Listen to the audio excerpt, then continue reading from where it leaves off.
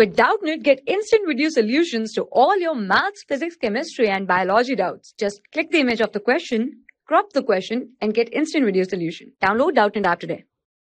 Hello everyone, our question is potassium crystallized in a body center cubic unit lattice. How many unit cells are present in 2 gram potassium? Okay, and atomic mass of potassium is 39. Clear? So as we know, potassium crystallized in a body center cubic unit lattice means potassium present in BCC body center cubic lattice.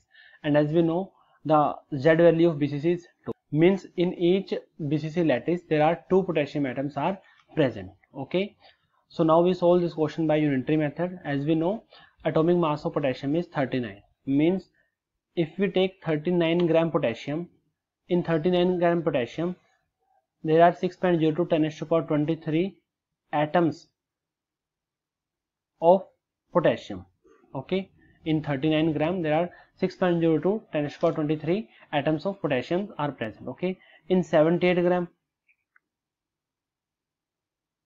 2 into 6.02 10 to power 23 atoms of potassium okay? But in 78 gram there are only 6.02 10 to power 23 unit cell because as we know in each unit cell there are two potassium atom okay? So in 2 into 2 into 6.0 10 to 23 atoms present in 6.0 10 to 23 unit cell okay? So 1 gram potassium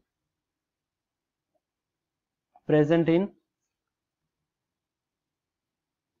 this unit cell and we have to find the 2 gram of potassium present in 6.02 10 to 23 upon 78 and multiply by 2 okay and the value comes out to be 1.54 into 10 is to power 22 unit cell okay means 2 gram potassium present in 1.54 10 to power 22 unit cell okay thank you For class 6 to 12, IIT JEE and NEET level.